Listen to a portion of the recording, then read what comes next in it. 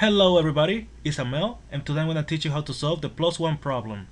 Given a non-empty array of digits representing a non-negative integer, add 1 to the integer.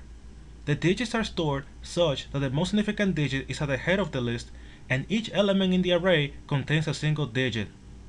You may assume the integer does not contain any leading zero, except the number zero itself. So as you can see, here they give you two examples. In this example, the input is this array that has the elements 1, 2, 3. This array represents the number 123. So the method returns 124 as an array because you have to add 1 to the number. In this example, the input is this array 4321. The method add, adds 1 to the number, so the output is 4322 as an array. So how can we solve this problem? We can go from right to left and we have to add 1 to the number, but we have to take into account that there could be a carry. If the number is less than 9, we add 1 and, we, and that's it, we're done. But if the number is 9, when we add a 1 to 9, if we add 1 to 9, then that becomes uh, 10, so we have 0 and a carry of 1. So without further ado, I'm going to show you how to write the code. First, I need a variable integer n gets a value of digits dot length. Alright, so now I'm going to go from right to left in the number for integer i gets a value of n minus 1. So i starts here. i is greater than or equal to 0 minus minus i. So as I said, if the digit at position i, if this digit is less than 9, I just have to add 1 to the digit and I'm done. So if digits sub i is less than 9,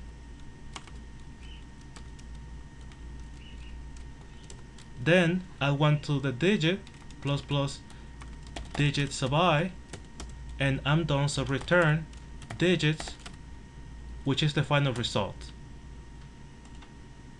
So that was the simple case.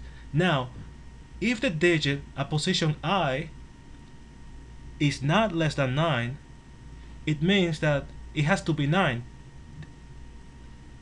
If we don't return here, that means that the digit at position i is not less than 9, so it has to be 9. So if it is 9, then the result, the digit at position i in the result becomes a 0.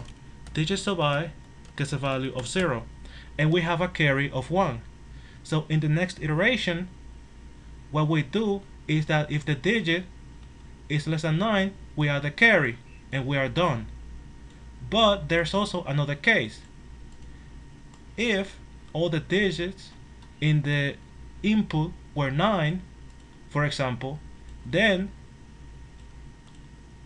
we are going to break out of the loop and all the values in the result, all the digits in the result became zero. So we have to have we have to take care of the carry. We have to put it at the beginning of the final result. So in that case, I have to make a new array, an array of integer result gets a value of new array of integer of size n plus 1. Then I just need to add a 1 at the beginning so result of 0 gets a value of 1 and I just return the final result. That was the case where all the numbers, where all the digits in the input were 9 because you are going to break out of the loop and then all the digits in the result became 0 but you have a carry so you add the carry at the beginning and you have to make a new array with one more available spot to put the 1. So now I'm going to run the code It seems to working fine. I'm gonna submit the solution. Alright, this is working perfectly. If you like the video, please press the like button.